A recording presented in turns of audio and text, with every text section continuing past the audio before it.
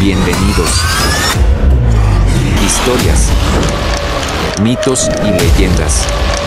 Huixeo y sus alrededores. Radio Oro Morelia con Valdo Rivera. Conducido por Yacer Castro. Freddy Morales en audio y video en YouTube. Invitados especiales. Comenzamos.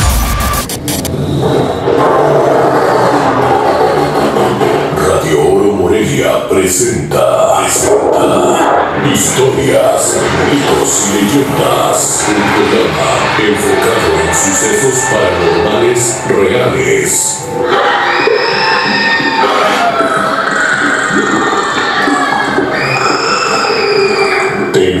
Para que nos escuches a través de las diferentes plataformas digitales que conforman Radio Oro Morelia. Produce Yacer Castro, Rogelio Ferreira y el audio y video. Freddy Morales. Comenzamos.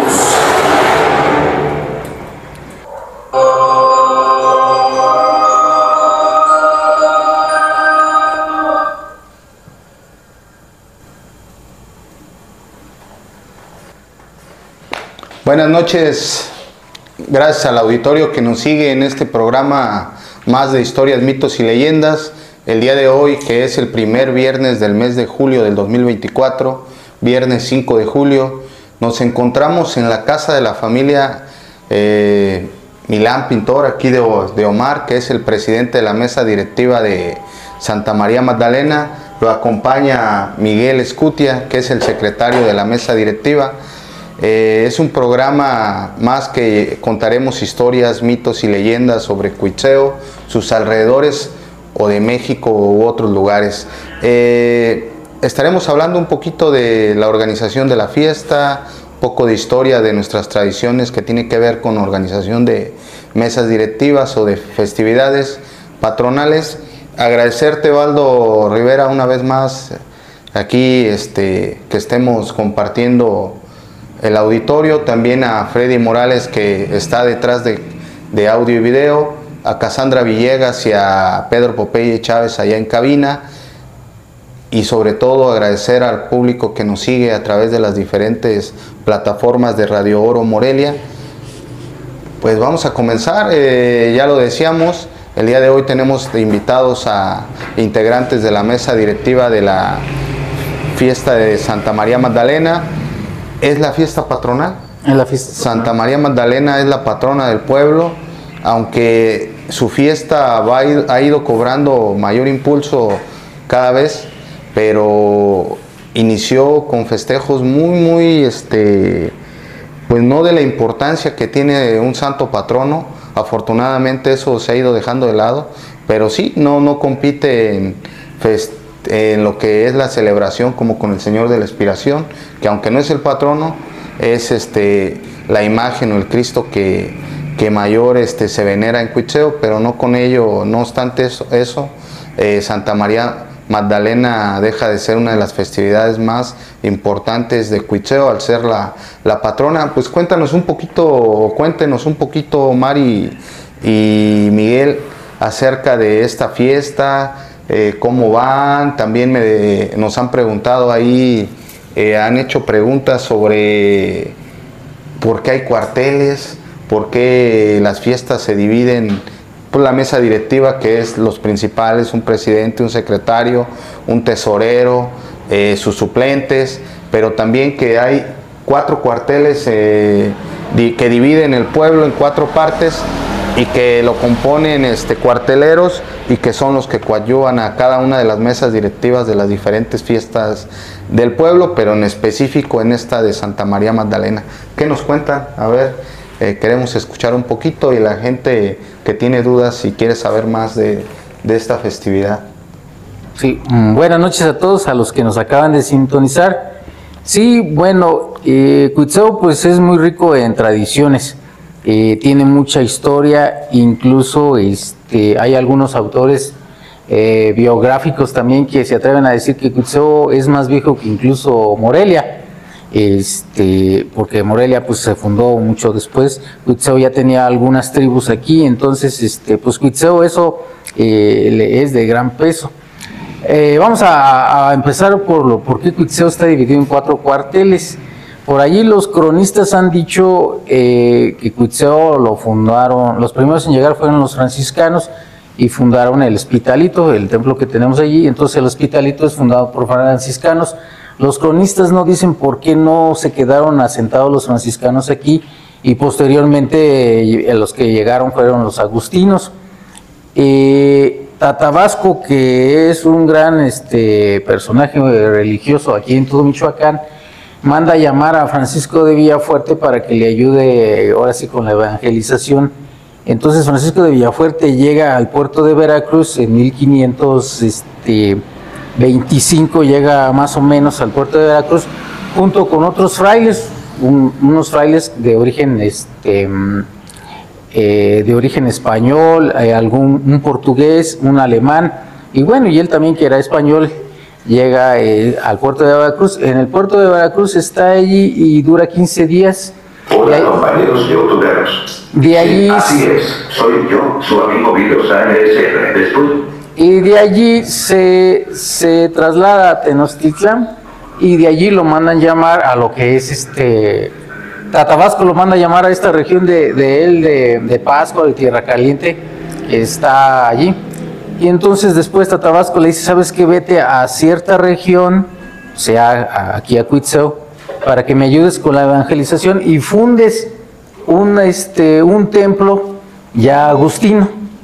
entonces lo manda aquí y llega a Cuitzeo. Los cronistas dicen que llegó, unos no se ponen de acuerdo, unos dicen que llega en mil 549, otros llegan, que dicen que llega en 1550, pero bueno, yo más bien creo que llegó un año antes de, cuando coloca, la primera, coloca piedra. la primera piedra del convento, porque el convento lo, lo, lo fica o la primera piedra se coloca el 1 de noviembre de 1550.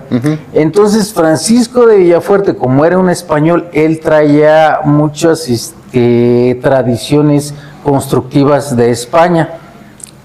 Él llega aquí a esta región, ve eh, las casas cómo están construidas, estaban todas este, dispersas, no había una retícula eh, muy establecida. Entonces, él empieza el pueblo a dividirlo en, cuatro cuadrantes, porque de él, donde era eh, Villafuerte, España, él era originario de Villafuerte, España, allá estaba dividido o estaba la retícula urbana, en cuatro partes, como cuatro avenidas principales. Entonces él traía esa tradición de, de esa manera este, urbanizar, por decirlo así.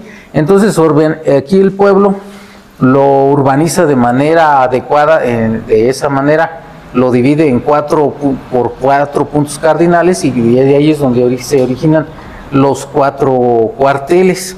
Entonces él lo, los, lo divide así y de esa manera en cada cuartel este, nombra barrios.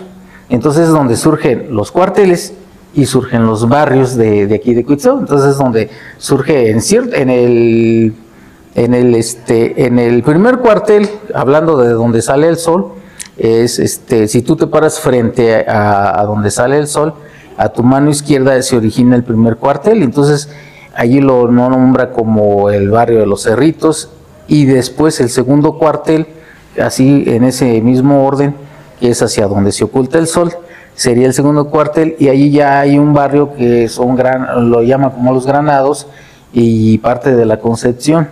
Y, las colonias. Ajá, entonces este, no son colonias, eh, son barrios porque dentro de sus tradiciones de, de, la ciudad donde él vivía, sí eran este sí no decía la colonia Genoveo no eran barrios. Ajá sí. Eran los barrios y así sucesivamente. Entonces después el siguiente cuartel ya es este el embarcadero el barrio de San Miguel eh, parte del barrio de San Pablo y finalizamos con el cuarto cuartel que es el barrio alto el Calvario y parte de lo que es aquí el centro de, de la población. Entonces esa tradición nos la dejó Francisco de Villafuerte el fundador del convento y este y de ahí se siguió la tradición para la organización como de la colecta de, las festividades. Por eso es que le llamamos aquí los cuarteleros los cuarteleros. Y que, como lo dices tú, Omar, y, y bien, estos cuarteles, este, que es como la primera división urbana del pueblo o del centro de población principal, que es la cabecera, pues sería, yo me imagino, y lo quiero equiparar o trasladarlo a Morelia, que tenemos esta ciudad aquí cercana a la ciudad capital, Ajá. que ellos son sectores. El sector sector. Nueva España, el sector, y que cada sector tiene sus colonias. Allá son colonias, pero Ah. realmente, como tú dices bien, pues a- a- eh, desde la eh, co- corona española, pues eran barrios, se les conocía como barrios, y aquí cada cuartel tiene sus barrios. O- y ahora algunos que ya les llaman colonias, ¿no? Porque ha ido cambiando la nomenclatura de, o, o El. Sí, y, y también los nombres, ¿no? Ya cada vez es más poco común que en cualquier lugar de, de México se hable de, de barrios, ya más bien se habla de colonias. De colonias. Pero realmente el barrio es el, la sección eh, antigua o originaria. Ajá. Pues qué interesante lo que comentas, Omar, eh, porque nos da un parteaguas y, y nos permite situarnos en el origen de la- primero la división urbana de Cuicheo, ¿no? Y del antecedente histórico de por qué se trazó de esta manera, por qué hay cuarteles, pero ya después por qué eh, quedaron asentados para el tema de las festividades o para la organización. Y La que- colecta, más Ajá, la colecta y que además algo que hay que agregar de los cuarteleros, que cada, que cada cuartel lo integran cuarteleros que son vecinos o que viven en esos, en esos barrios o en esa área delimitada de ese cuartel. Por eso en todas las mesas directivas vemos integrantes de, digamos, de todos los barrios, de todo eh, la cabecera municipal, porque al estar integrada por los cuatro cuarteles, pues tenemos en las diferentes festividades, en este caso particular de Santa María Magdalena, gente de los Cerritos, del Barrio Alto, del Calvario, de la Concepción, de los Granados, las colonias, el embarcadero, del centro, independientemente de que los principales, eh, como ya decíamos, secretario, tesorero, presidente y sus suplentes, no tengan propiamente que ser de un, de un barrio como tal o de una colonia. Qué interesante, Valdo, este, todo esto que nos platica la mesa directiva. ¿Tú ya lo sabías? No, fíjate, estoy sorprendido la verdad y, y es algo que, que lo empezamos a manejar. De hecho, yo le manejaba que si cuántos integrantes eh, componen cada cuartel. Yo estaba pensando, creí que eran tres, pero No, cuatro. son cinco. Cuatro o cinco, depende. Cinco. Ajá. Entonces, eh, fíjate nada más, por un lado que bueno, porque por ejemplo, en el segundo cuartel, si es el segundo, ¿no? Granados, imagínate lo, lo grande que está, lo que abarca, porque abarca hasta la Genoveva Figueroa y todo esto por ahí, entonces sí está, sí está complicado. O lo mismo el tercero, hasta los pinitos y todo eso por allá. El ranchito. Sí, Este el también ranchito. es. También es El de los Primero, cerritos es el más grande, el es el más chiquito, ¿no? El cuarto es el más pequeño. Es el más papa para todos. Sí. Eh, pero Es interesante, es interesante, fíjate, porque, porque de verdad eh, ahí también como para que la gente haga conciencia también, que no es nada sencillo estar en una mesa directiva, porque eh, pues me estaban platicando que cuatro meses visitando especiales y todo eso, o sea, cuatro meses no es nada sencillo. no, no, fíjate que eh, yo no sé, creo que tú ya habías participado en mesas, ¿no? Sí. Eh, Miguel, él sí eh, lo he visto que participa más. Eh, también Nelson, que no ha llegado, que estaba por llegar. Pero yo, yo tuve la oportunidad de participar en una en el Calvario. Y hasta que participas te das cuenta del trabajo real que implica organizar una fiesta, de que es un trabajo pues que ahora sí que lo haces de manera eh, desinteresada, eh, voluntaria, me refiero en el sentido de que no hay una percepción, que es dedicarle tu tiempo, tu trabajo, tu quitarle tiempo a tu familia, tus actividades, a, lo que te dediques, le tienes que quitar un buen número de tiempo, dependiendo del tamaño de la, de la fiesta o de la festividad. Si a veces una fiesta que es, digamos, de las porque hay, digamos, unas que implica más tiempo por el tamaño de la festividad, otras más, eh, desde luego. Eso te quita y, ya lo decías tú, ya llevan cuatro meses trabajando, pareciera que es poco, pero no. Cuando estás diario saliendo a tocar puertas, a ver gente a visitar, algunos te reciben bien, algunos no te reciben eh, bien, unos te cooperan, otros te dicen luego me reporto y algunos sí se reportan, otros no.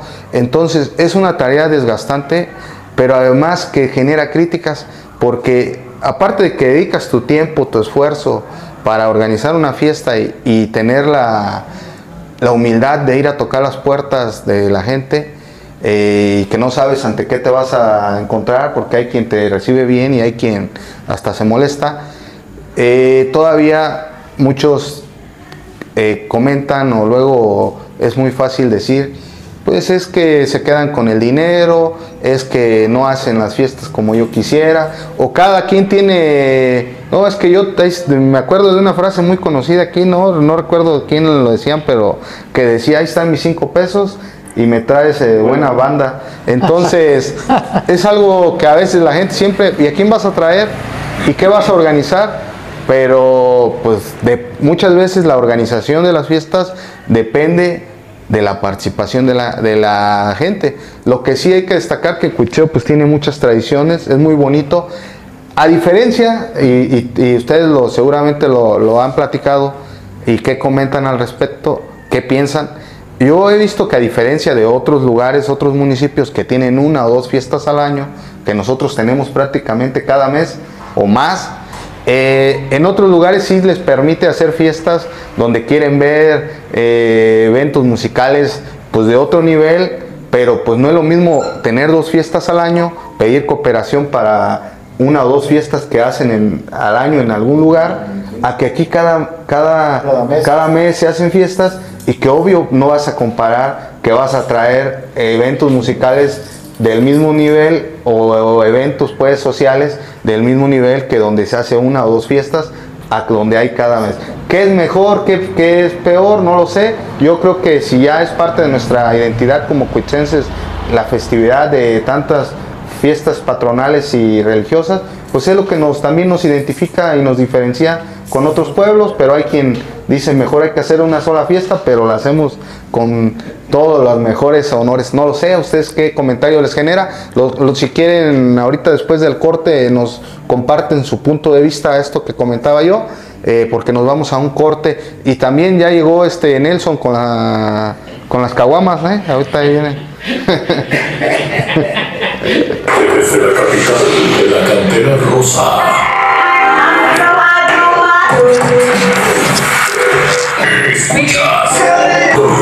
Mitos y leyendas. Regresamos. Tenemos saludos. Sobe Suárez dice buenas noches a todos. Eh, por comunicarnos sobre todas las festividades que hay en nuestro querido pueblo. Sigan adelante, Dios les ayude. Reina eh, Areni Rey Suárez, a ver qué dice, qué dice. Eh, saludos jóvenes desde Sultán, Washington. Francisco Javier Rodríguez eh, dice, hola, buenas noches, saluditos desde la tierra del Zarape, Saltillo, Coahuila, eh, México, y viendo su transmisión, muchísimas gracias. Eh, Rey Suárez dice, pues imagínense eh, los que trabajamos para la reconstrucción del templo de Santa María Magdalena, y qué duro, y qué duró, buen tiempo, y el trabajo que hicimos era de reuniones cada martes, y fue por años, y sin pago alguno. dice, ¿qué dice? Bueno, eso es todo. Adelante, mi querido Yasser. Pues les preguntaba antes de irnos al corte eh, que si qué pensaban ellos de tanta, pues de que Cuicheo está lleno de festividades durante todo el año, que si eso de alguna manera era bueno o tenía su, su ahí su parte negativa, pero que hay puntos encontrados, ¿no? Sobre y también que nos puedan platicar un poquito pues de qué, tienen pensado hacer, ya es el próximo, la, el día principal pues es el 22 de, julio, pero de las festividades empiezan desde unos días anteriores y que nos puedan platicar un poquito, ya sea Omar, este, eh, Miguel o también ahí el cuartelero Nelson que va llegando. Que, Sí, bueno, pues mira, eh, volvemos ahora sí que al tema de hace rato de, la historia y de los fundadores de aquí del pueblo. Pues el hecho de que Cuitzeo tenga pues una fiesta religiosa cada mes, pues es por las tradiciones que nos dejaron los es, evangelizadores, eh, los frailes. Como, te, como lo mencioné hace rato, pues dividieron el pueblo en cuatro cuarteles, cada cuartel con sus barrios y, este, y en cada barrio colocaron una capilla. Entonces ese proceso fue vino a enriquecer la historia tanto religiosa como cultural de aquí de- del pueblo y ese es el por qué este, tenemos tantas fiestas porque la, la costumbre fue inculcar que en cada templo eh, el templo estaba dedicado a, a una imagen religiosa y que se le hiciera su fiesta cada que se cumplía, pues, por decirlo así, su aniversario religioso. Por ejemplo, San Pedro y San Pablo, es el 29 de, de junio. Este, enseguida sigue, pues, la patrona, que es el 22 de, de julio. Después este, ha habido otra este, festividad que tomó, tomó también auge, aunque no es este, de un barrio, pero está dentro de la parroquia, que es la Virgen del Tránsito, El 15 de agosto. el 15 de agosto, pero que la, la historia de esa Virgen, que cómo llega aquí al pueblo, que, que eran, que llegó en dos, dos burras o dos mulas, eh, con dos cajas, eh, que no se sabe de qué parte llegó y que anduvieron un tiempo en aquellos años vagando o comiendo por fuera de- del convento, este, hasta que uno de los frailes decidió, bueno, esas dos burritas que ya tienen rato o días que están aquí comiendo por fuera de- del templo y que decidieron ver lo que traían en las cajas y cuál fue la sorpresa que una de ellas venía la, la Virgen y en otra venía las doncellas y, este, y las pertenencias de la propia Virgen. Entonces, pues esa historia o esa cobra relevancia, entonces, pues está esa festividad. Después de allí pasamos a, lo- a lo que es la, la siguiente festividad que, que es en el propio mes de, de agosto, que es el, el último sábado de, de- de agosto, que es el del recorrido del Señor de los Cerritos, que sale a, a visitar Al el campo, campo. Y bueno, esa es una tradición también de que sacar al Cristo para ver el buen eh, temporal, o sea, lo que se dio en el, el año, porque para esas fechas ya se supone que tiene que haber elotes, ya tiene que haber el frijol, se suponía, ¿verdad? Entonces, esa es otra fiesta religiosa que de alguna manera se tiene que considerar. Posteriormente entra septiembre, de septiembre, pues allí son dos fiestas religiosas. Eh, este, el tercer sábado de septiembre, pues es la fiesta del Señor de los Cerritos en su templo, en su barrio. Y, este, y el día 29 de septiembre es la fiesta de San Miguel Arcángel. Recordemos que era un templo que había en ese barrio de San Miguel que se cayó y que bueno, se sigue haciendo esa celebración en ese barrio de, de San Miguel, entonces pues es dentro de ese mes. Llegamos a lo que es el mes de octubre, en el cual la festividad que más este, presencia tiene aquí en la población, por lo que lleva históricamente, que fue el encontraron el Cristo en el, Cerro de Manuna, que fue encontrado por, por tres personas, una persona de Cuitzeo, dos personas de, Capacho, que acordaron este, llevarlo en una procesión. Entonces, bueno, que algún día se tra- eh, que más adelante o en otros programas se tocará bien ese, ese tema, porque es parte leyenda y, y parte historia, ¿verdad? Sí, sí, sí. Entonces, este, ese es en octubre. Y pasamos a lo que es este noviembre. En noviembre, pues se puede decir no hay una festividad religiosa de algún barrio, de alguno de los templos, pero sí celebramos lo que es a nivel nacional, eh, festejar o la tradición de, el culto a, no- a los que ya han partido a otro lugar, a nuestros a nuestros este, angelitos o a nuestros fieles difuntos. Entonces, este, pues bueno, pero ya llegamos a lo que es el mes de diciembre y que aquí tenemos un templo que es este el de la Virgen de Guadalupe, pero primero de el, el 8 de, de, Diciembre. de diciembre tenemos lo que es el templo de aquí del Hospitalito, que ahí se le festeja la Inmaculada Concepción, y el 12 de diciembre que tenemos el otro templo que es este el, el santuario de la Virgen de Guadalupe, que anteriores años muy atrás pues era de unos particulares, ¿verdad? De, la, de las familias de las casas de las posadas fueron los que construyeron ese templo, por ahí en el 1823, 1826, no tengo un poco claro el dato, pero que después la, la mitra religiosa de Morelia recoge ese templo ya cuando ha pasado tanta historia como lo que fue la guerra de los cristeros, eh, y bueno, ya esas familias ya habían desaparecido, entonces recogen ese templo y se lo dedican a la Virgen de Guadalupe y entonces tenemos esa festividad. Entonces, si se fijan, como les he estado mencionando, se va enriqueciendo todo, este, todo eso por los antecedentes históricos. Llegamos a lo que es el mes de, de enero y, y febrero, más que nada, que es la fiesta del Templo de la Concepción de otro barrio que tiene de nombre muy nombre eh, que atierre nombre con el convite, la festividad del convite. Y este, y entonces, bueno, y ahora seguimos con los meses avanzando, tenemos las festividades de Semana Santa. La Semana Santa pues conlleva una infinidad de actividades dentro de lo eclesiástico y este y bueno, también tenemos que en ese mes o en, en esas fechas, dependiendo de la fecha que caiga la Semana Santa, este, el lunes después del domingo de, de, Resurrección. de resurrección es cuando se hace la festividad del Templo del Calvario, del Cristo de la Misericordia. Entonces, este, pues allí vamos avanzando con todas esas festividades y así sucesivamente hasta que nuevamente volvemos a llegar a la fiesta de San Pedro con la que comencé este relato. Entonces, todo eso, parte de la historia, como lo he estado mencionando, los antecedentes históricos y bueno, eh, este, los templos y, y es que enriquece a Cuitzeo con todas sus tradiciones este, religiosas y es por eso que Cuitzeo está nutrido De festividades. de festividades. Entonces, este, aquí este, le quiero pasar un poquito el micrófono a Miguel porque este, lo que Miguel tiene la inquietud es más que nada de decir, bueno, tenemos una gran tradición eh, tanto pa- este, histórica, religiosa, y más que nada, lo, como tú lo mencionaste, es lo que conlleva este, la organización de cada fiesta.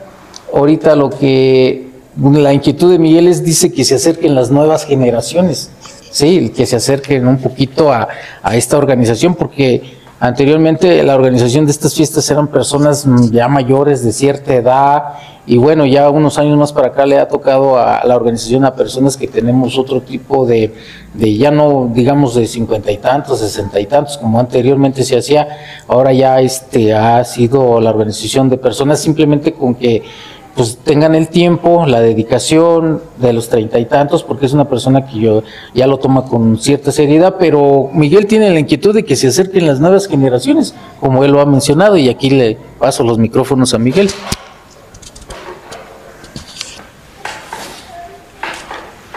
Pues sí, buenas noches a todos los que nos están viendo. Es cierto lo que dice aquí el compañero Omar.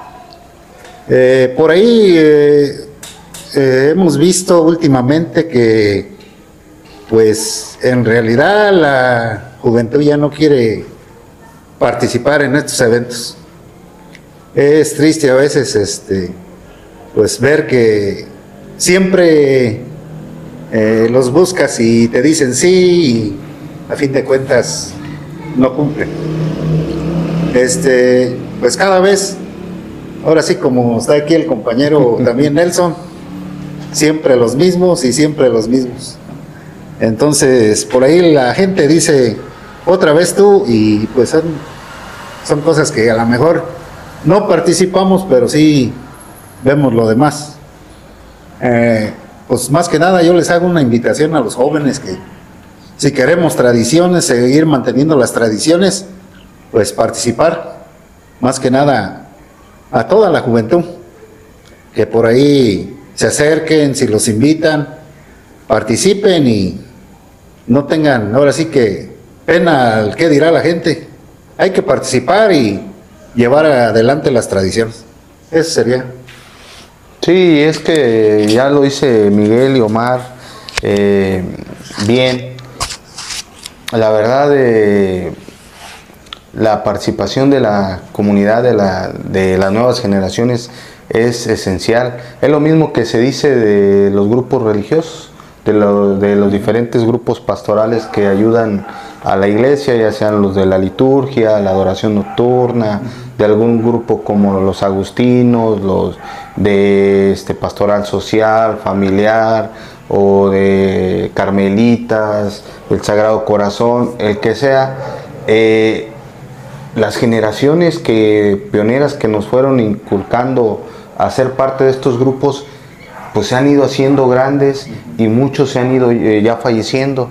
Y si no se acercan las, las nuevas generaciones, los jóvenes, eh, las jovencitas, se va a ir acabando o se van a ir debilitando. Yo, yo al menos cuando luego en la adoración se cuestionan mucho, es que ya no hay la misma participación, es que lamentablemente se ha ido acabando ese temor de Dios y, a veces quieren fiestas pero solo pensando en lo pagano que es importante también celebrar lo que tiene que ver con la parte pagana, la música, el folclore, pero no debemos dejar de lado que lo más importante de estas tradiciones es lo religioso, pues el origen que es la festividad este, eh, de la imagen de la Virgen, del Cristo, de independientemente de quien estamos festejando, pero también algo importante que decía este Omar, ya nos relató de manera así resumida y breve este, cada una de las festividades. Y, dices bien, los padres, nuestros directores espirituales, nuestros guías eh, evangelizadores a lo largo de la historia en Cuitzeo han ido creando estas tradiciones que nos enri- enriquecen y nos identifican como cuitzenses en lo cultural y religioso y espiritual. Pero ya, eh, yo me imagino que, que ya han iniciado, como ahora que se creó por primera vez, que vamos a hacer el festejo de la, de la fiesta del Señor del Perdón. Y el día de mañana, Dios mediante, va a ser una fiesta que va a ir creciendo, que nació así por una decisión de, digamos, de un, de un párroco y de un, y de un este, consejo parroquial, de los fieles que ahí se, se agruparon en torno a, y que así nacen. Igual, eh, se nos pasó la fiesta de, de este eh, de San Antonio, allá en la colonia, en la colonia Genovevo y Colosio. Son festividades muy Sí, recientes. Son muy recientes, pero que el día de mañana, cuando pasen, esperemos, este, décadas, pues van a integrarse como a las festividades que hoy estamos hablando y esperemos no perder ninguna. Eh, vamos a, a un corto y vamos a, a pasar, a- bueno, antes de hacer el, el corte, pedirle a la gente, yo me imagino que están ya muy cerca de las festividades, que todavía la mesa directiva está visitando gente, están esperando colectas, eh, ya lo decían, lo decían ellos y lo platicábamos y lo platicaban en el programa de complacencias. La organización de las fiestas implica trabajo y mucho tiempo de los integrantes de la mesa, pero desde luego lo más importante es las cooperaciones que da la gente, que da este, tanto los que están en Cuitzeo como a ver que se le activó aquí a, a un juguetito que trae Baldo de música, aquí se activó, perdón ya, bueno, Eh, lo decíamos, eh, lo más importante es la cooperación que hace la gente de Cuitzeo y también quienes están en Estados Unidos, que nos puedan apoyar ahí mandando a través de las conocidas cartas o si no hubo carta, quien nos sigue en el programa, que ojalá se acerquen a ellos y puedan hacer todavía alguna cooperación porque todavía tienen gastos pendientes. Como siempre, las medidas directivas a la hora de organizar y planear actividades se tienen que aventar todavía sin saber si va a llegar ese recurso y a veces aventurando hasta que les toque poner, porque aquí más que muchas veces se piensa que queda, al contrario, al último queda uno le toca poner porque ya no se reunió lo que se pensaba y ya te comprometiste con la banda, con el grupo, con las velas, con los arreglos florales, etcétera. Entonces quien tenga voluntad, pues es el espacio para que se acerquen a ellos.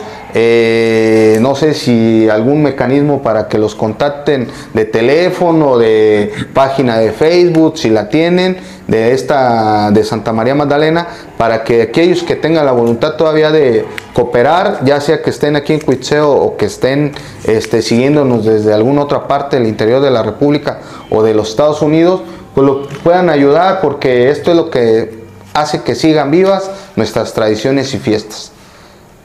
No sé, Omar, ahí algún medio de contacto o, o algo que decir sobre Ajá. esto que les estoy diciendo para invitar a la gente a que todavía les ayuden, apoyemos porque pues son muchos los gastos que representa una organización y están a días de que Ya, se celebre. Sí, sí, eh, como lo dices es- tú, ya sé, son de muchos los gastos que surgen en, en las diferentes, este, en las festividades.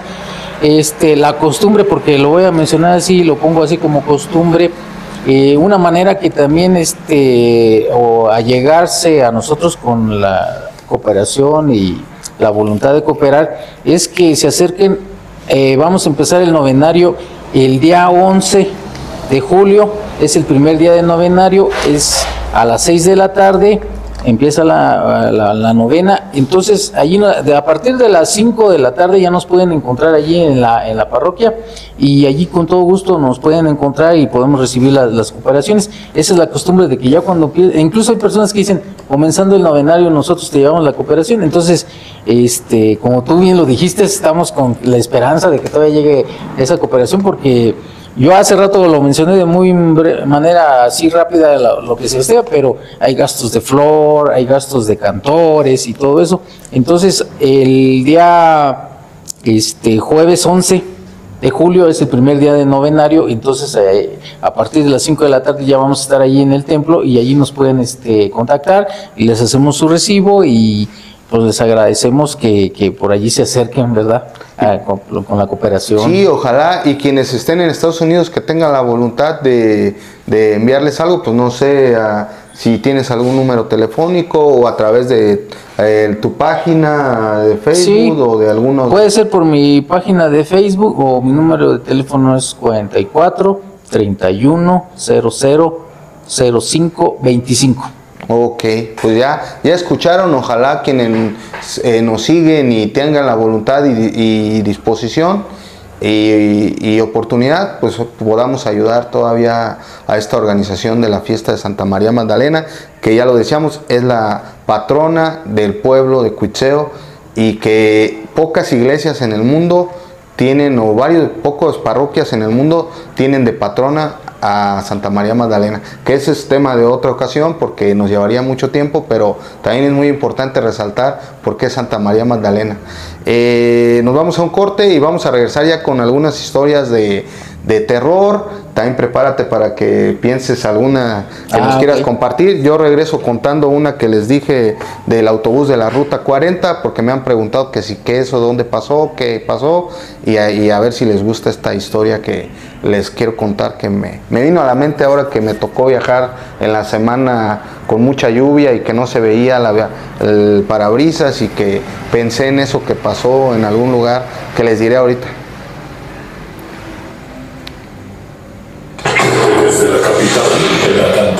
Cantera rosa.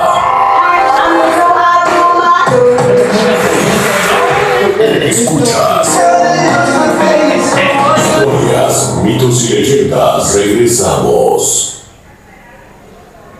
Pues ya estamos de vuelta. Eh, les decía, les quiero contar una historia, es una leyenda ya, eh, pero fue una tragedia.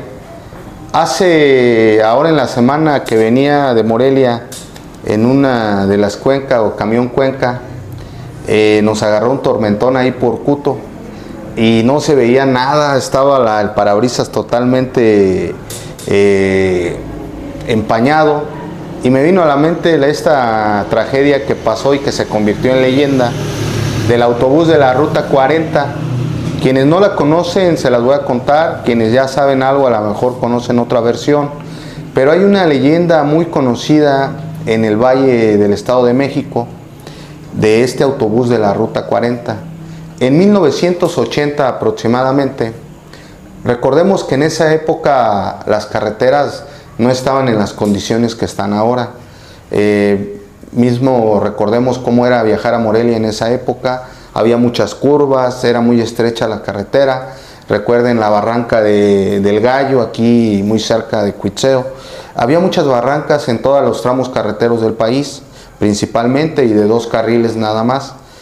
Entonces, eh, de Iztapa de la Sal hacia, hacia Toluca, Eh, quienes conocen, es una distancia muy corta ahora, estamos hablando de 45, 48 minutos en carretera. Eh, es un tramo muy, muy transitado de Iztapa de la Sal a Toluca o de Toluca a Iztapa de la Sal. Quienes teníamos antes que ir a Acapulco, queríamos ir a Acapulco en aquellos años, la ruta era por esta parte de Iztapa de la Sal. Yo incluso recuerdo que una vez que íbamos a Acapulco, eh, ahí en Iztapa de la Sal, eh, nos pernoctamos eh, una noche y en el hotel nos espantaron, se oían ruidos, se veían sombras. Entonces es un lugar misterioso esta zona y resulta que en el año de 1980, como les decía, una noche lluviosa, venía este autobús que era de Iztapa la Sal a Toluca y viceversa, iba de Iztapa la Sal a Toluca.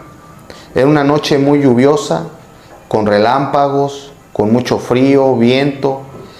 Iba prácticamente lleno el cupo de pasajeros de este autobús, del conocido como de la Ruta 40, porque tenía el, el número económico 40 iba viajando a exceso de velocidad a pesar de, del clima, de las curvas, del tramo carretero complicado y estrecho y con muchas barrancas. Y no se veía nada. El chofer llevaba poca visibilidad en el parabrisas.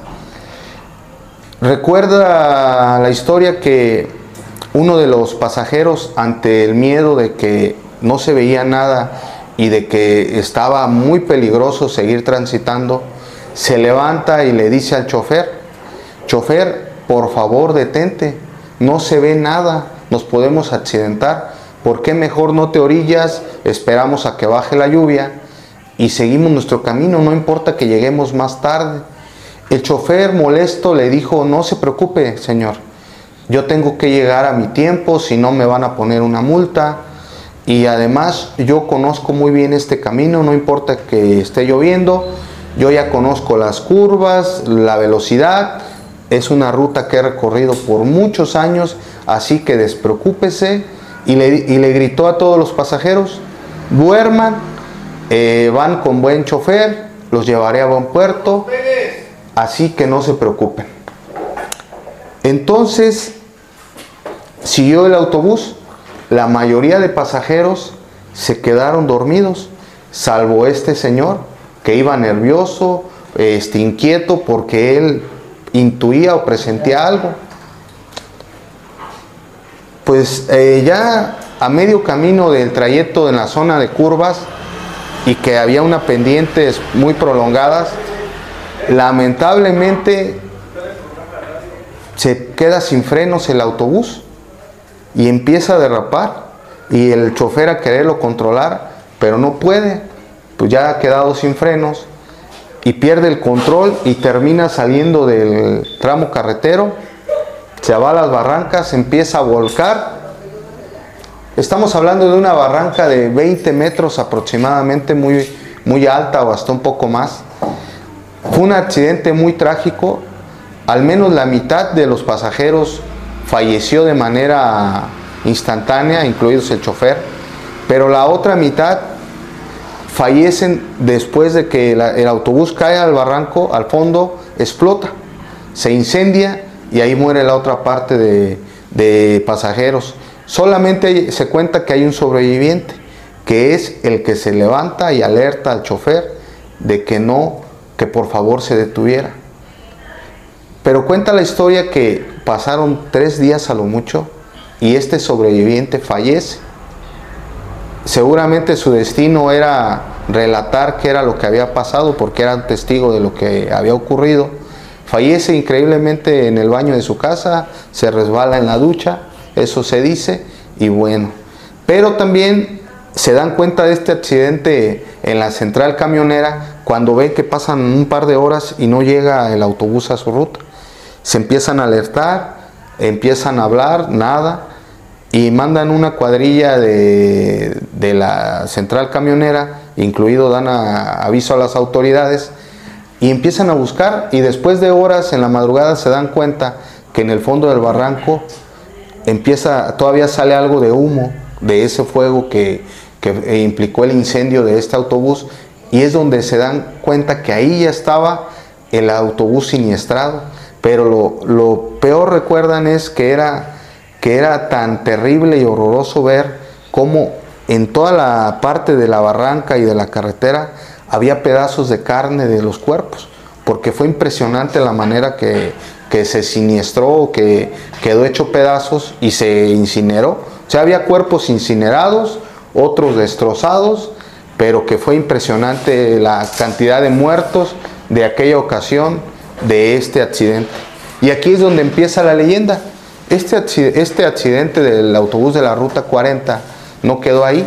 Después del tiempo, dicen los habitantes de estos municipios que de Toluca y de Iztapa de la Sal, que les ha tocado en reiteradas ocasiones eh, que en la noche tengas mucho cuidado cuando estés esperando el autobús que une a estos dos destinos, porque todavía se le ve circular a este autobús de la Ruta 40 y que lleva pasajeros, que han sido varios casos los que lamentablemente sin darse cuenta le han hecho la parada. Se detiene este autobús como cualquier otro, te, te abre la puerta, porque es este autobús como urbano con dos puertas, y abre la puerta, te subes, pero que ya cuando estás arriba te das cuenta que solamente queda uno o dos o tres lugares, eh, solamente quedan lugares disponibles para sentarse dependiendo las personas que se acaban de subir. Si tú te subes y eres solo uno, nada más hay un lugar disponible. Si vas con otros dos o tres acompañantes, nada más hay esos lugares disponibles.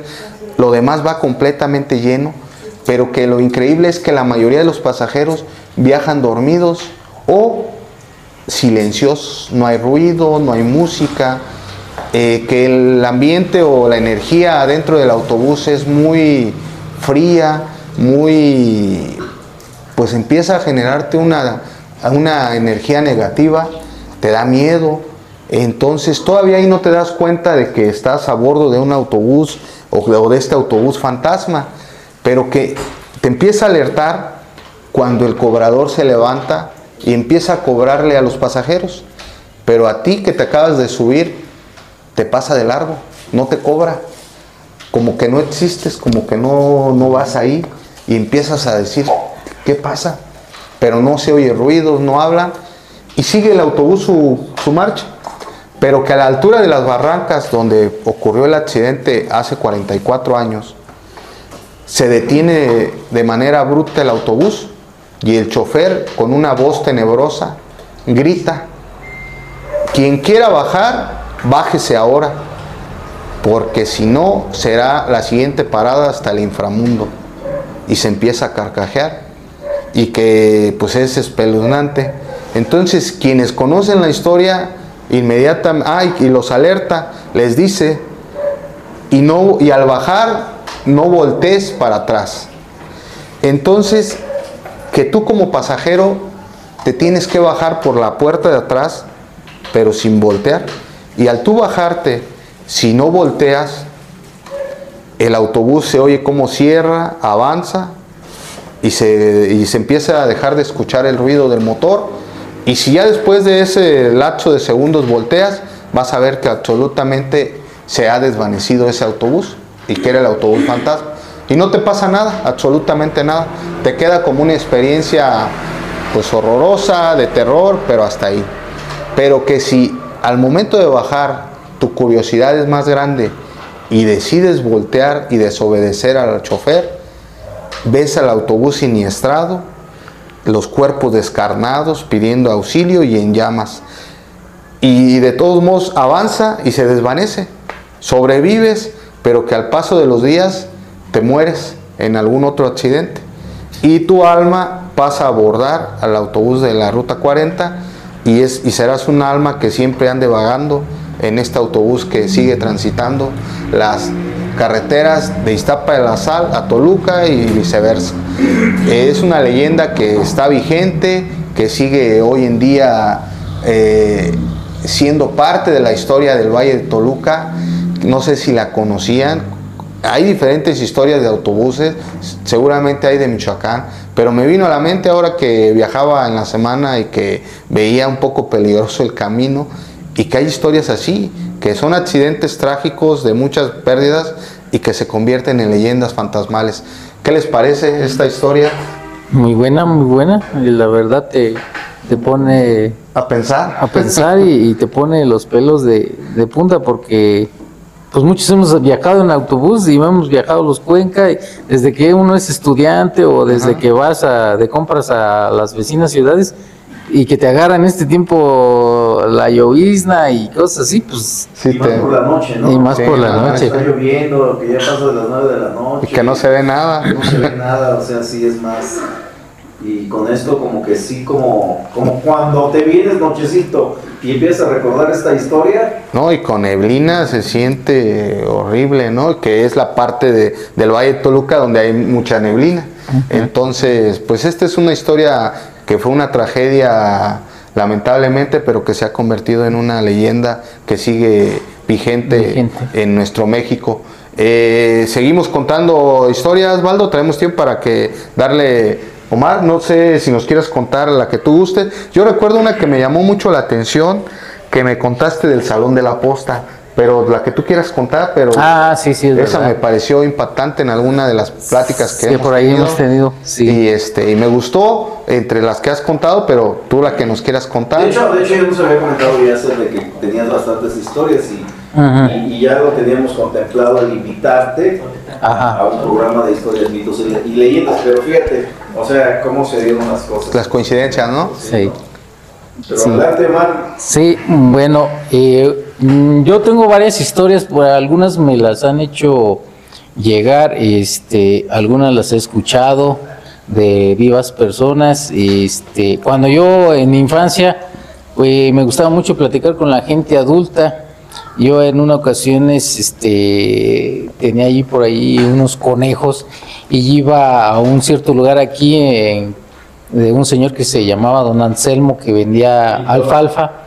Entonces yo, él tardaba en llegar y entonces todos los que comprábamos alfalfa, pues eh, lo esperábamos y yo escuchaba algunas leyendas de señores adultos que también iban por su alfalfa y, y que a veces en la banqueta nos sentábamos y él me platicaba leyendas o los escuchaba o a veces eran pláticas de, de- de- otro señor con otro persona adulta y este y yo los escuchaba a veces sí preguntaba o interactuaba con ellos pero esas leyendas por ahí las tengo muy frescas pero yo quiero el día de hoy comentarles este una leyenda de este a mí me han sido pocas ocasiones que yo he visto cosas paranormales y sucesos así aquí en el pueblo pero les quiero contar una leyenda porque me resultó muy curiosa sobre la famosa dama de blanco que, que aquí en el pueblo a varias personas se les ha aparecido, las han visto. Entonces, por ejemplo, y eh, quiero tocar este punto porque, bueno, aquí las leyendas en el pueblo se comparten de viva voz, ¿verdad? Y, de- se trascienden a veces de generaciones. O a veces este, es muy peculiar que dice, ¿sabes qué? Mi abuelo me contaba que a él le pasó esto y cosas así.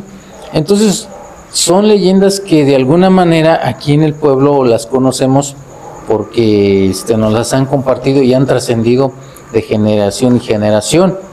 Pero ya cuando te la platica una persona que es que no es del pueblo, como que dices tú, ah caray, toma eh, este como más este, importancia o este surge una curiosidad tremenda o volteas a ver esa leyenda. Aquí en el pueblo está la famosa leyenda de la dama de, de blanco, que incluso es muy diferente a lo que es la, la llorona. Eh, en alguna otra ocasión les voy a platicar la llorona cuando yo la escuché, y, pero hoy quiero tocar eso de la dama de blanco porque es, es muy, muy diferente a, la llorona. Es, una, es un personaje, una, este, no sé, una aparición que a ciertas personas del pueblo se les ha aparecido, ya sea en ciertas calles, en ciertas esquinas, en ciertos lugares este, donde transitan, calles muy solas, que por ciertas circunstancias esa persona pasó en ese momento y le tocó a ver, eh, decían las personas de antes, es una hora muy específica que no tiene una certeza de tiempo. Puede ser 12, 15 de la noche, puede ser una de la mañana, 3 horas, 3 de la mañana, qué sé yo, incluso hasta 10 y media de la mañana, pero simplemente con que sea en el lugar, eh, te encuentres en el lugar, la hora específica y, y todo eso se presta para que tú este, Te toca verla. te toque verla, ¿no? Entonces aquí ha habido personas que dicen, nos tocó ver una persona de blanco que se nos apareció en tal lugar.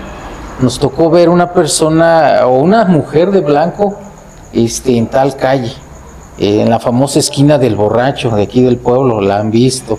Este, en la, este, ¿cómo se llama? Eh, en las orillas del pueblo, en el camino a San Agustín, la han visto y cosas así. Entonces, cierta ocasión yo en mi juventud, en estas vacaciones de, de- De verano, las- de verano, lo que decíamos nosotros, las vacaciones largas, yo trabajaba en Moroleón en la albañilería, era ayudante de albañil.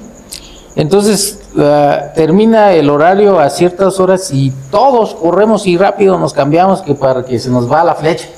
Es muy típico, ¿no? Entonces yo era una persona que decía, bueno, ¿y para qué, y para qué nos apresuramos? Pues total hay más flechas, hay más carros, ¿no? Entonces yo era un poco yo- flojo porque... Más tranquilo. Más tranquilo. Y más aparte todos venían a- en un auto sardina, ¿no? Todos allá. Entonces decía, ay no, yo espero el, el camión del siguiente turno Para ir sentado. para irme cómodo. sentado muy cómodo y total, pues llego más tranquilo yo a, a ¿no? Entonces, en una ocasión de esas que yo dejé que todos los compañeros este, albañiles se vinieran primero, yo me vine hasta después. Allí por fuera de la central de Moroleón estaba un puesto de tacos. Yo recuerdo que esa ocasión me vine más tarde, anduve bobeando en el centro de, de Moroleón, este, dije, "Ah, me voy con calma. E incluso no agarré yo urbano para llegar a la central, me fui caminando. Y ya llegar a- allí por fuera de, de la central de Moroleón estaba un puesto de tacos. Y dije, me voy a comer unos tacos. Total, ya está oscureando y ya llegó cenado. Entonces me siento en el puesto de tacos y este y para eso este ya estaba una persona cenando. Eh, era, un, era un señor este, blanco, de tez blanca, medio chino o bigotón, este, y estaba él muy cómodo en un banquito ya cenando sus tacos. Yo llego y me siento y pido mi orden de tacos y este y pues obviamente espero a que el taquero me, me, me dé mis tacos. Pero el señor este volteaba y me veía y seguía comiendo eso. Entonces me dice de esta manera, ¿de dónde eres gordo? Y le digo yo, soy de Cuitzeo. Dice, "Ah, de Cuitzeo. Mm. Siguió comiendo y nomás me dice, "Mm".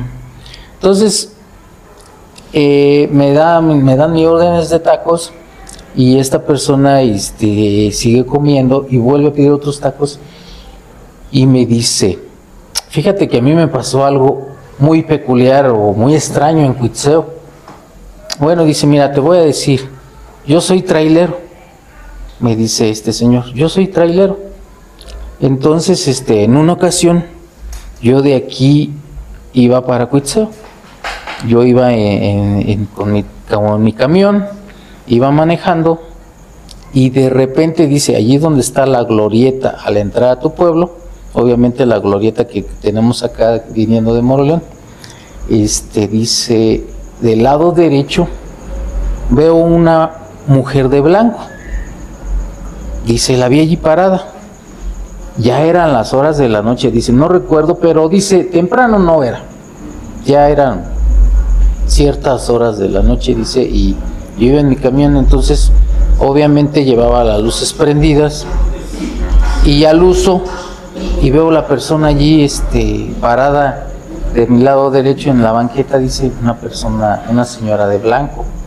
Dice y se me hizo algo curioso porque dije pues qué estará esperando o qué sé yo dice a, a lo lejos pues la alumbro yo con el camión la veo allí parada era una persona muy muy delgada me dice él se veía que era una persona alta Y, pero lo que me llamó la atención es porque de blanco. No le tomé importancia, dice, y bueno, yo seguí con mi camión. Dice, donde yo me dio un poco más de desconfianza, incluso miedo, fue que a dos calles hacia arriba o en las siguientes dos esquinas me la vuelvo a encontrar. Y estaba otra vez allí parada. Dice, en, esa, en ese punto, yo en los brazos ya siento una sensación de que es algo desconocido. Ya miedo. Sí, dice, ya me da este de miedo. Y sobre todo, dice, porque el pueblo, eh, me dice él, y sobre todo porque el pueblito estaba en una tremenda quietud. Dice, estaba muy quieto. Estaba totalmente quieto. Y dice, el silencio, nada más mi camión. Y otra vez volverme a encontrar esa persona que estaba en, en las siguientes dos esquinas, dice, me empezó a dar un tremendo miedo. Entonces dice este, este señor, dice, cuando yo paso junto de ella, trato de no voltear, allí sí ya no quise voltear. La primera ocasión, me dice él, yo traté hasta de buscarle el rostro, pero por alguna razón no, no volteé. Allí traté yo como de, de voltear, dice, bueno, ¿qué señora es? O, yo vengo mal, que pensé verla visto en la esquina de abajo y no, más bien era en esta esquina, dice, pero allí traté como de voltear a buscarle el rostro. Dice, no se lo vi. Lo único que sí, tenía una cabellera negra y estaba así girada. Y no le vi el rostro, la cabellera no me permitió ver el rostro. Dice, seguí avanzando con mi camión. Obviamente es un camión pesado que no puedo pisarle, dice, y, y, este, y a pesar de que el pueblo está solo y una tremenda quietud, no quise pisarle, dice, lo atravieso a una cierta velocidad, muy, muy tranquilo. Entonces dice, pasé, quise voltear a verle el rostro, no se lo vi.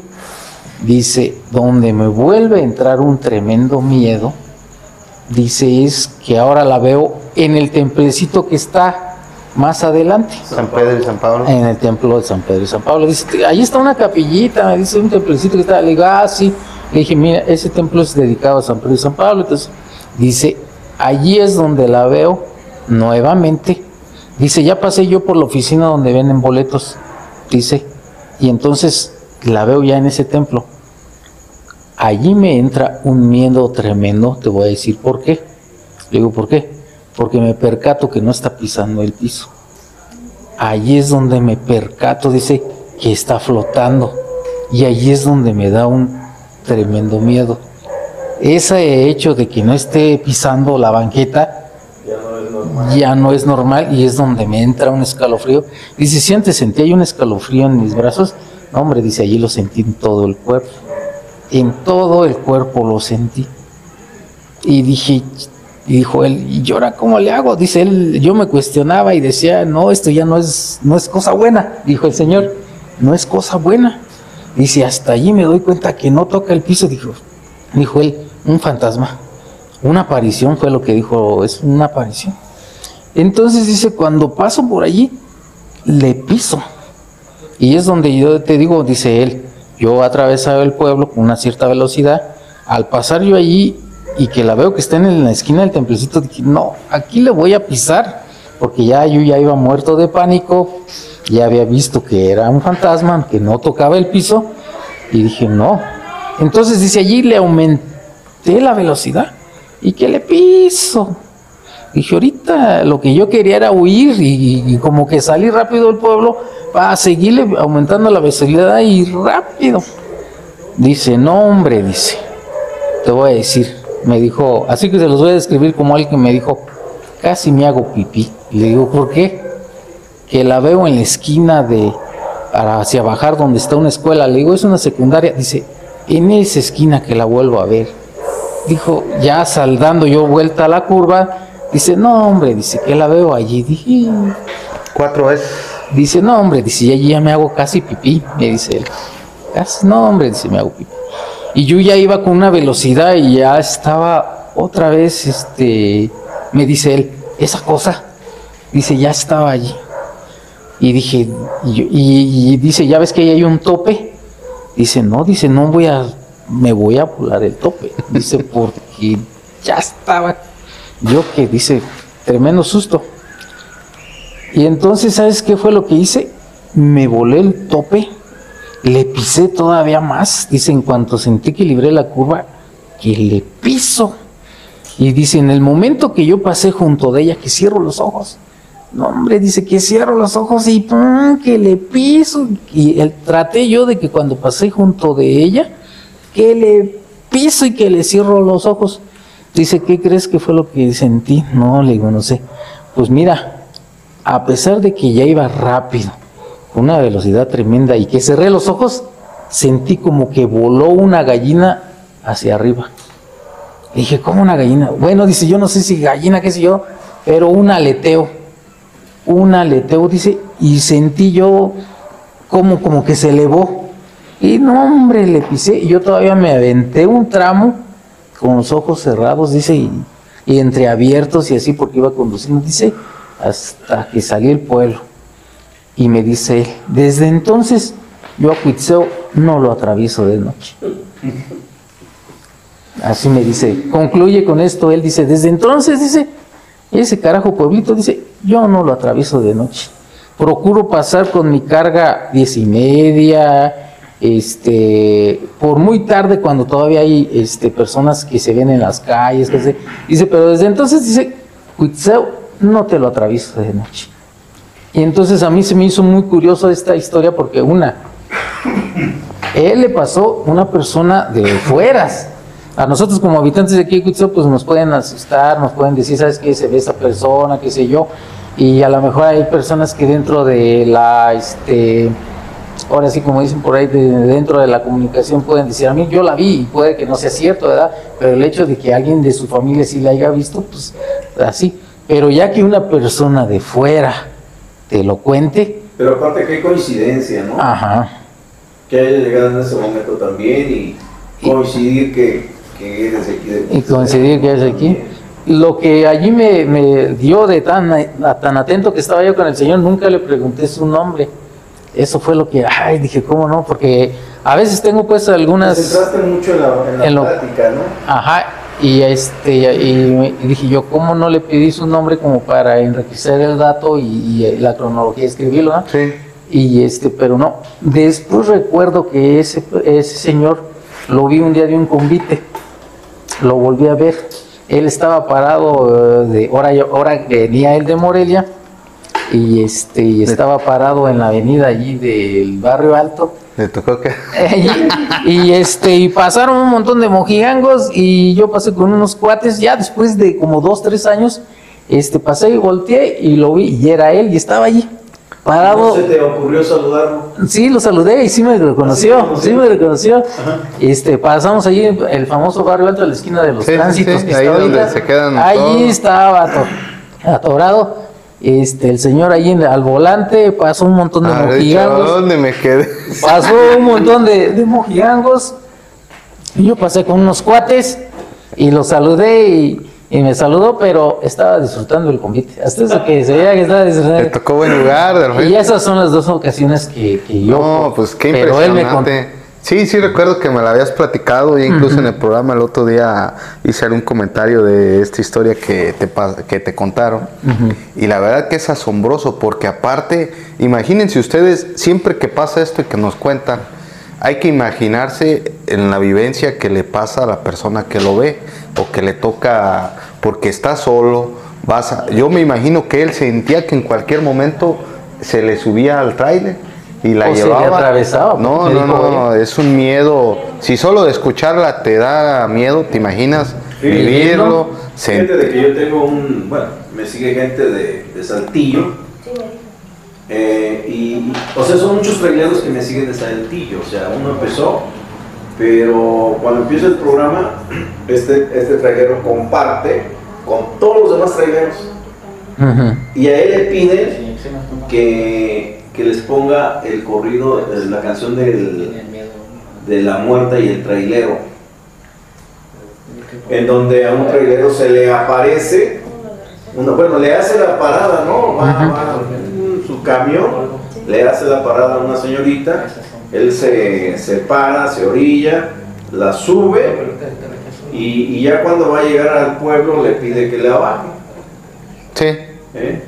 Entonces se fue, que se, o sea, es, pues es un corrido y, y me decía él que es cierto, que esto es verídico. No, sí, es verídico. eh, Entonces, eh, y él me decía, porque luego por mensajes, ya, ya fuera del aire, me dice que nosotros, Valdo, tenemos muchísimas, muchísimas historias, muchísimas, y, y ojalá, dice, un día tenga la oportunidad, dice, yo paso seguido por Huitzeo, y ojalá un día tenga la oportunidad de pasar a saludarlos y contarles una de tantas historias a nosotros como traileros que nos de- eh, seguramente sería interesantísimo. Sería interesante, que- porque incluso yo le comentaba, yo, yo le comentaba incluso, me encantaría mucho eh, un día, un fin de semana, pum, irme en tráiler. como piloto, De como copiloto. trailero y todo eso, las ex- vivir una experiencia con ellos sería, sería, sería muy bonito. Y me dijo, el día que gustes, dice, estamos en un grupo de 50 traileros, todos te escuchamos,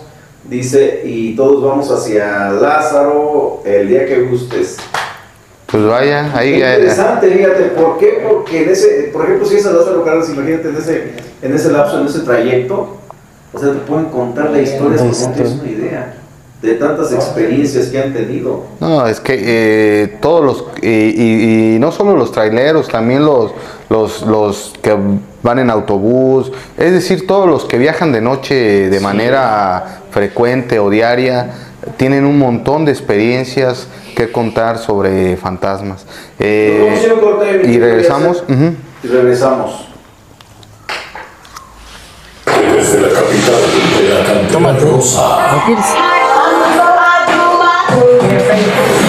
comentaba el ingeniero Juan Ruiz, el responsable de que estemos al aire, que salgamos al aire, el productor general, Pedro Popeye Chávez, estará Casandra, estará José Luis eh, Melgoza Melgoza, estará el doctor Malaquía Cerrato Ramírez. ¿Quién no lo recuerda el doctor Malaquía Cerrato Ramírez? Eh, fuimos compañeros en todas las transmisiones de Monarcas Morelia, eh, la voz oficial, la primera voz de los primeros tiempos.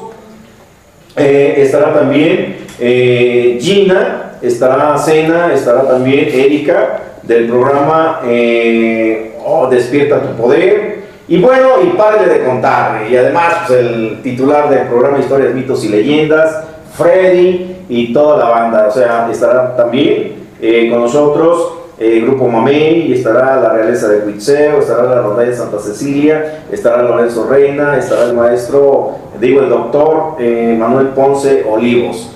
Sexto aniversario de Radio Oro Morelia. Así es de que no se lo pueden perder. De manteles largos, Valda. Manteles largos. Fiesta. Pues por lo menos eh, la verdad es que la idea es reconocer a los compañeros que han acompañado a un servidor desde el principio, porque yo lo comentaba eh, desde un inicio, eh, compañeros que, que se fueron, que no creyeron en el proyecto de Radio Morelia y, que bueno, eh, gracias a Dios, gracias a Dios, tú lo has visto en las estadísticas, mi querido Yasser, estamos posesionados eh, en uno de los eh, lugares privilegiados a través de, las plataformas digitales. Estaba viendo una este, de Pedro Popeye Chávez, una publicación de un monitoreo que hizo, en donde dice, dice, dice, a ver, aquí está, incluso ya por ahí lo compartimos, eh, en donde dice Pedro Popeye Chávez, dice gracias a Radio Oro por la confianza a un servidor, una de las estaciones más escuchadas en la Unión Americana eh, por su excelente programación. Incluso aquí nos da, nos manda el link de una de las eh, plataformas de Radio Oro Morelia, aquí está abriendo, este, y nos estamos escuchando, o sea, se está escuchando, nada más usted le da a abrir y, y bueno, nos escucha, aquí estamos a través de todas las plataformas, hay muchísimas estaciones de radio aquí y entre esa radio, aquí está Radio. Oro Morelia. Entonces, ah, bueno, es, es- es por el corte que estamos, que lo tiene Popeye Chávez. Entonces, de verdad, eh, no es algo tan sencillo, es algo que, que lo hemos hecho con un equipo de trabajo que, que se ha puesto la playera bien puesta, eh, como lo ha sido Yasser, porque también yo quiero felicitarlo a Yasser. Eh, un programa bueno nos ha faltado. Freddy, Freddy también, de verdad, eh, su esposa que siempre lo ha acompañado. Entonces es un gran equipo eh, bien compacto, en donde ahí no hay jefes, ahí no hay gerentes, ahí no hay nada, ahí todos somos iguales. La responsabilidad es diferente, es otra, pero todos somos iguales, yo siempre lo he dicho, eh, porque de momento, oye jefe, no, no, no, aquí no hay jefes, aquí somos todos iguales, yo creo que esa es parte también del éxito de Radio Morelia. Adelante, mi querido Yasser. Pues ya vamos a puntualizar la parte final, ya estamos llegando a, a la parte de cierre de nuestro programa. Como cada viernes se nos va rapidísimo, quisiéramos más tiempo para seguir platicando, pero yo ahorita, este, antes de darle a la palabra a Omar para que si nos cuenta alguna historia breve y que todavía alcanzamos, yo nada más quería comentar un poquito acerca de la historia que nos comentó de esta señora de blanco. Eh, no sé si sea la misma porque eh, hay muchas historias que tienen, eh, que no es la llorona, que no es la dama de los tacones, que aparte la dama de los tacones es de negro, pero que la novia que también sale en San Pablo es pues, un vestido de novia, en este caso es, no es una novia, es una dama de blanco.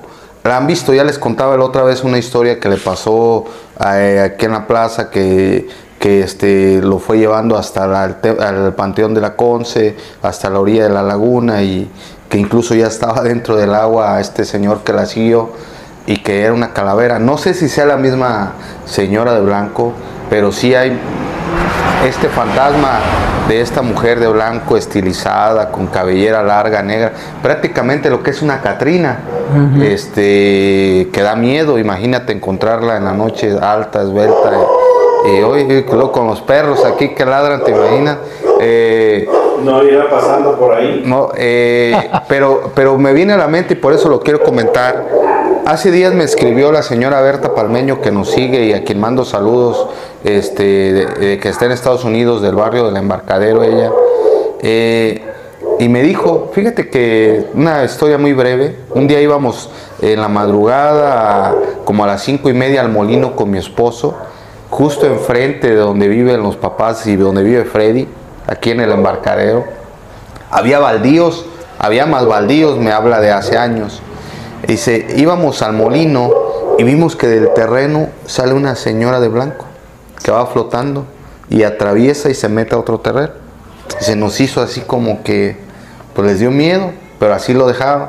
Pero dice que en otra ocasión, un vecino que venía totalmente borracho también en la madrugada, pasando por ahí, que incluso ahí hay una piedra grande, plana, o hay piedras de ese terreno, refiere ella, que salió la mujer y que empezó a, a, llamarlo a él, y como él iba borracho, lo empieza a seguir a esta mujer. Que la mujer iba caminando y se mete en otro terreno ahí enfrente. Seguramente ya está construido, pero que el borracho, su vecino, que ya iba muy ebrio, empieza a seguir a la mujer, porque ella caminando o, flotando, pero él no lo veía, le empieza a decir, sígueme, y pues, pues es eh, eh, estilizada, como lo decimos, pues es atractivo, ¿no? Y más si estás alcoholizado, estás pues más tentado a, a ese tipo de llamadas, este, eh, pues de una mujer, ¿no? Femeninas. Femeninas o carnales o como les quieran llamar. Entonces, que él empieza a seguir y, ahí había una noria y empieza a ver que se mete a la noria la mujer y que lo llamaba. Y ya él iba directo a la noria. Ya cuando en ese momento que siente el peligro o que se despierta o, la misma, el estado de sobrevivencia del cuerpo, le advierte y le dice, vas a, que, Algo te va a matar, te va a ahogar. Te está llevando una noria y es donde él reacciona que es un fantasma y que lo quiere seguramente ahogar. Y sale corriendo, se le corta la borrachera y es una mujer de blanco y estamos hablando del embarcadero. Eh, entonces, en diferentes lugares del pueblo hay apariciones de esta mujer de blanco. No sé, yo no sé si sea la misma, pero pues pudiera ser, o sea, a final de cuentas eh, hablamos de una mujer misteriosa Eh, si alguien más del auditorio tiene historias de esta mujer de blanco, que no sea la llorona, que no sea eh, la novia y que sepan hasta el origen o algo, pues compártanlo porque eso nos ayudaría a, a entender más este fenómeno eh, que ocurre en Cuitzeo y que a muchos les ha tocado ver, al menos a una mujer de blanco. Si no, no sabemos si es la misma, si hay diferentes, pero que a final de cuentas son fantasmas y que no del todo buenos porque aparentemente buscan causar un mal de alguna manera a quienes la ven. Eh, algo alguna historia que para, Sí, quieras para cerrar o Pues más que nada complementar ese eh, eh, dato, como tú lo bien lo mencionas, este, esa de, de personalidad o qué sé yo, fantasma, qué sé yo. Ha habido varias personas que, que se les ha parecido. Yo la primera ocasión o las primeras ocasiones que escuché de, de esa fa- famosa personaje que es de blanco, lo escuché de unas personas adultas, los cuales ellos decían, le daban el nombre. ¿Sabes qué? A fulano le pasó esto. Andando en plena borrachera, él y su amigo, este, por la esquina del borracho, que es la, la esquina de, de la maestra Rita, de sus papás, de la maestra Rita. Este, ahí este, empezaron a ver esa persona, ese, esa mujer de blanco. Efectivamente hizo que la siguieran, ahí van las personas. Entonces, este, uno logra como alcanzarla. Entonces, en el momento que la alcanza, traía como, no es, no es un velo ni un tocado, simplemente traía así, no sé, algo de, de- creo que una peineta, algo así de, de su cabello negro, porque ese es un, ese es un como un dato muy negro, negro. ¿no? Negro que Oscuro, lo tienen, ajá. ajá. Azabache. Y dice el- este, la persona que, me que lo estaba relatando que en el momento que la alcanza así como a decir, voltea y que te estoy hablando y que ya tengo como dos, tres cuadras siguiéndote, porque para eso ella iba rumbo al potrero, a la salida del pueblo, pues, Ajá. En esa famosa calle de, de- derecho. Sí, sí, sí. Entonces, este, Rumbo a la mesa. rumbo a la mesa y a la puerta que le llaman. Dice que cuando uno de ellos ya la alcanza y que la jala así como que trató de jalarla, pero que le jala una peineta, ella voltea. ¿Cuál es su sorpresa? Que era un ser totalmente horrible. Descarnado, ¿no? Una calavera. Era un, eh, dice la persona esta que está relatando, es una persona, es un rostro, me dijo él, como de lagartijo, como de calavera. Bueno, la impresión que se llevó fue tremenda, que su reacción de él fue correrle y le dijo al compañero, córrele porque es el diablo. Fue su, su reacción de decirle, córrele porque es el diablo. Y los dos tomados y como pudieron correr, llegaron, me dijeron cuál poste era, donde había una lámpara, no más que no se me, no recuerdo ahorita. En el momento que llegaron allí, donde estaba ese poste con la lámpara allí, se desmayaron. Que le impresionó. Pues es que, impresión. Y allí llegan y se desmayan. y muy similar a lo que contamos de esta que persona que... un, un mensaje rápido. A ver. Eh, Tina A, Ah. no sé, no sé el apellido. Dice, saludos amigos, excelente programa el de hoy. Yasser, en la calle Miguel Hidalgo que va rumbo a la cantera, también hay muchas historias de la mujer de blanco, la llorona y un caballo con un eh, carretón. Pronto carroleta de la muerte. Te Ajá. las platiquen, saludos. Órale, O gracias, sea, Tina. estamos cerquitita, de hecho estamos a unos cuantos metros de, de la Miguel Hidalgo, ¿no? No, pues ahorita que... com- Y Ajá. ahí te, per- perdón, y ahí te va, o sea, cerca de donde viven los Álvarez, ahí enfrente era una joya hace muchísimos años. Y se, bueno, de acuerdo a toda la gente de ya mayor, eh, decían que ahí, exactamente donde vive Angelito Álvarez, aquí, eh, Ajá. ahí en la joya, se atravesaba un perro negro que no te dejaba pasar. ¿Qué hay de cierto? ¿Quién sabe? Pero bueno, ya nos lo está, nos, nos está comentando este, eh, ¿cómo se llama? Tina. Tina. Entonces, algo debe de haber. Sí, y es que aparte, ya lo conté en los primeros programas, incluso en aquella ocasión estuvo José Luis este, eh, Hernández, el sacristán, a quien le mandamos saludos y que seguramente próximamente Don nos Lucho. acompañará en, en alguno de los siguientes programas, don Lucho. Aquí en esta esquina yo les conté que cuando me contaron la historia de ese carretón de la muerte que baja de la cantera, bueno, se le ve por varias partes del pueblo, pero la que a mí me contaron venía y pasó por aquí, por la Miguel Hidalgo, aquí por donde, en la esquina de Don Chemita Mascote, y, y hace su recorrido y se detuvo acá como a la mitad en aquella ocasión a recoger uno de los cuerpos que falleció en esa ocasión. Entonces, estamos en una zona pues muy cercana al templo. Oye, Omar, te eh, quiero hacer una pregunta, perdón. ya Aquí, donde, bueno, en un momento determinado fue un depósito de cadáveres, no, no se escucha que, que asuste. Mm, Sí, en una ocasión aquí por fuera de, de aquí de la calle, Ajá. este, yo traía un carro y dice, no, no prendió, no prendía. Entonces, este, pues ahí estoy con mi esposa, en ese entonces todavía eran los novios, y esta es la casa de su abuela de ella, y, y obviamente nos saludamos, ya me voy. El tiempo de irme no arranca el, el carro, el carrito del Shadow, un Shadow gris. El de tu papá. El de, ¿Qué hora trae mi papá? Yo traía ese carro. Pues no arranca y, y sale y ya dice, pues no, que ya te ibas y salió. Y digo, pues no sé, es que no tiene nada, pues venía bien y todo, simplemente. Pues ahí estamos, era un día de Semana Santa, era como un jueves santo, algo así, la noche de un jueves santo para, bueno, de tanto estarle buscando al carro, entonces se me hizo un poquito noche y ahí estoy, y meneándole una cosa y otra y todo, pues si venía bien y pues, ay, ahí estoy, estamos y todo eso. Este, en esa ocasión vimos una procesión que venía del Calvario. Y nosotros empezamos a ver que venía la procesión del Calvario. Lo que primero veíamos hacia la distancia, pues eran las velas, unas lucecitas, y, que- y dijimos, ah, caray, ¿y esa procesión? Pues yo creo que ya se andan preparando, me dice mi, mi novia, mi esposa en ese, me dice, yo creo que ya se andan preparando para las, para las procesiones de Semana Santa. Y le digo yo, a estas horas, ¿Qué será? pues así como que... Medianoche. Como que sí, eran 11 y algo. Le digo, no manches, como que estas horas. Sí, dice, pues. Digo, no.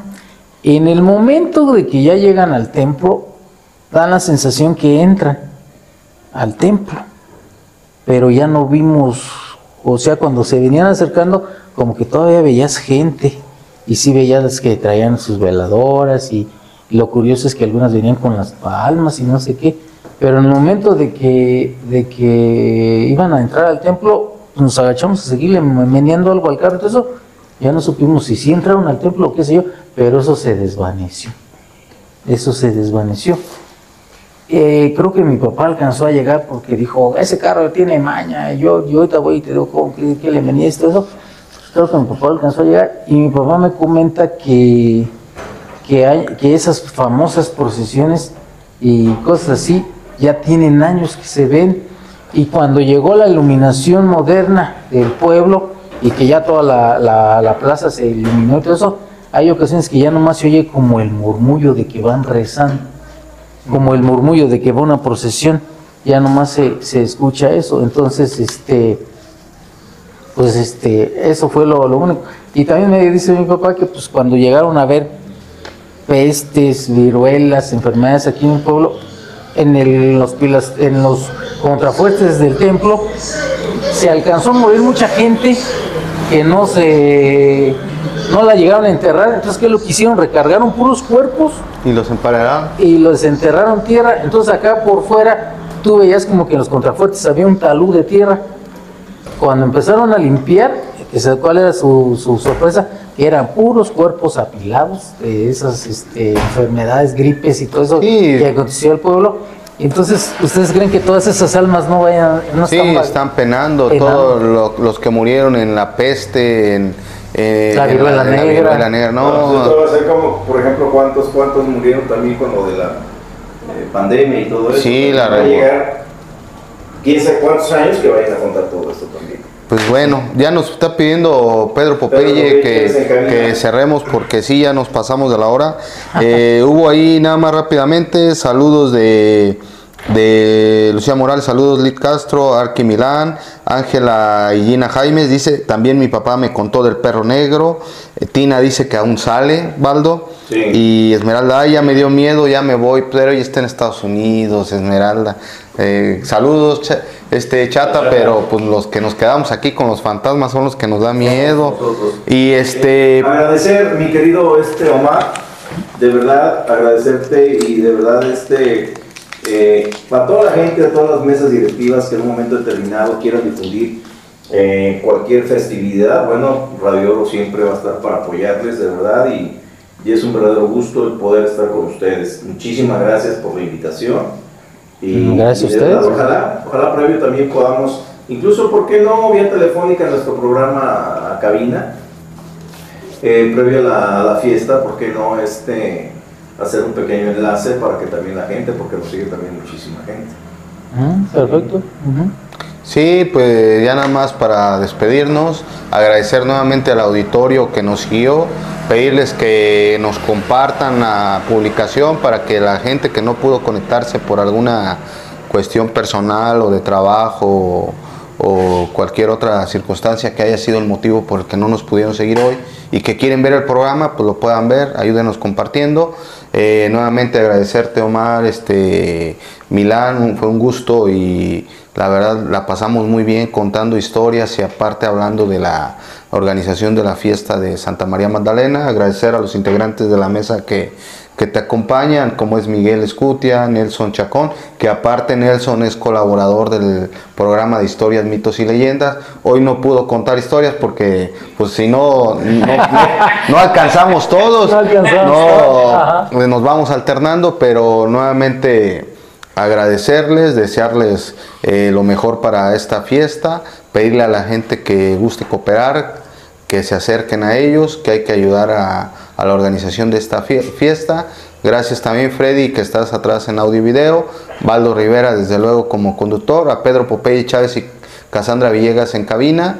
Que tengan una muy bonita noche, que descansen, eh, un feliz fin de semana y Dios mediante nos seguiremos viendo en, en el siguiente programa. Hubo leyendas que no pudimos contarles por el tiempo limitado que hay, quedan pendientes porque por ahí también les iba a contar por qué jamás debes salir de casa una vez que estás acostado o durmiendo. Ya, lo comentaremos el siguiente viernes. Hay una razón de por qué nunca hay que salir cuando ya estás durmiendo. Pedro Popeye Chávez me envió una información, 454 gentes conectadas en este programa. Así es de que impresionante el alcance. Casi 500 gentes. Muy bueno, la verdad es que es muy bueno. 698 reproducciones. Muy, muy bueno. Muchísimas gracias. Buenas noches. Pues gracias, buenas noches. Gracias, buenas noches a todos. Ha sido todo, pero te invitamos a escuchar nuestra próxima edición de historias, mitos y leyendas. Mitos y leyendas. Todos los viernes de 8 a 9.30 pm en Radio Oro Morelia.